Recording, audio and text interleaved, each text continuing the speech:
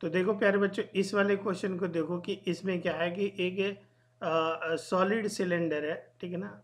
एक solid cylinder बना लेते हैं this is the basically solid cylinder and let us consider ये सॉलिड सिलेंडर जिसकी रेडियस ये वाली रेडियस कुछ कैपिटल आर है लेंथ एल है, ठीक है?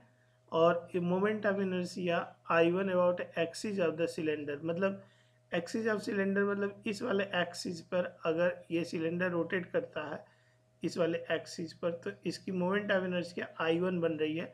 ऐसा बताया जा रहा क्वेश्चन में। पहला कंडीशन यहाँ फुलफिल हो जाता है, ठीक है?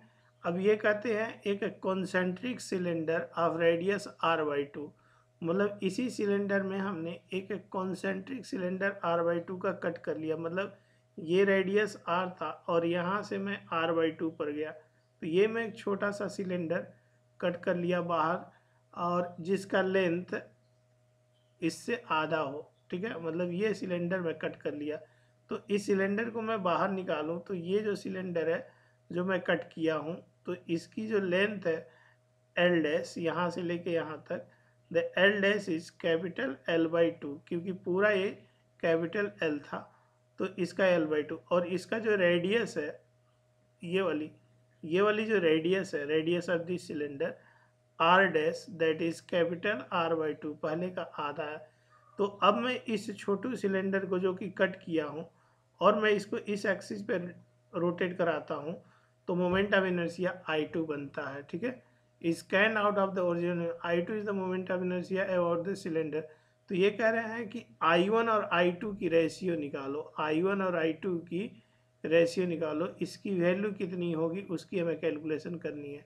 तो देखो, सबसे पहले जो सिलेंडर सॉलिड सिलेंडर है तो मोमेंट ऑफ़ इनर्सिया आई जो होता है, वो डिस्क के बराबर होता है M R square by two होता है।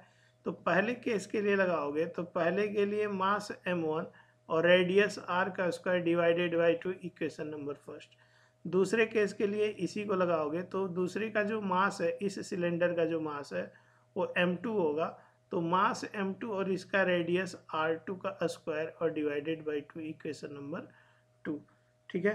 तो अगर तुम यहाँ से देखोगे, ये डेटा रखोगे तो मास एम टू तो मास एम टू तो हमें पता नहीं है कितना है, लेकिन हमें ये पता है कि रेडियस आर टू इसका रेडियस का आधा है आर बाई टू का होल स्क्वायर है तो ये टू तो यह आ जाएगा टू आर स्क्वायर अपान ये फोर और यह आ जाएगा एट ठीक है? तो ये, इसका मतलब ये हुआ कि अगर मैं पहले से दूसरे का रेशियो लेता हूँ डिवाइड कर देता हूँ तो मुझे क्या मिलता है देखो।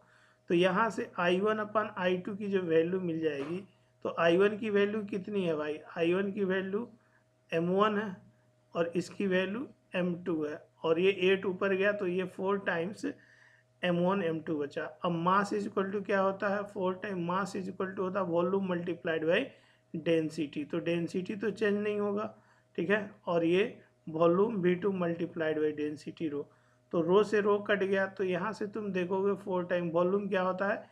Area of cross section. Area of cross section pi R square और multiplied by length L density rho. ये वॉल्यूम बी वन। इसका एरिया ऑफ़ क्रॉस सेक्शन आ जाएगा तो इसका हाँ इसका volume area of cross section pi R square. इसका रेडियस मतलब आर बाई टू का स्क्वायर ठीक है? और इसका लेंथ एल बाई टू और मल्टीप्लाइड बाई डेंसिटी रो तो जब ये काट, काटोगे तो ये रो ने रो को काट दिया, यहाँ से एल ने एल को काट दिया पाई स्क्वायर ने पाई स्क्वायर को काट दिया तो ऊपर बचा फोर और नीचे बना वन अपॉन फोर और ये plus one by two eight ठीक है? तो कुल मिला के यहाँ से ऊपर चला गया ये वाला तो फोर और ये एट ऊपर चला गया तो थर्टी टू आ जाएगा, ठीक है? तो ये यहाँ से यहाँ से हमें मिल जाएगा। तो I one upon I to की जो वैल्यू फाइनली आ जाएगी, वो आ जाएगी thirty two and this is the final solution of this problem तो यहाँ से जो है, ये जो खाली जगह है, वो मुझे भरते हुए बहुत अच्छा लगता है। तो यहाँ मैं थर्टी टू भर देता हूँ तो और ज़्यादा फील आ जाएगा। Thank you bye bye take care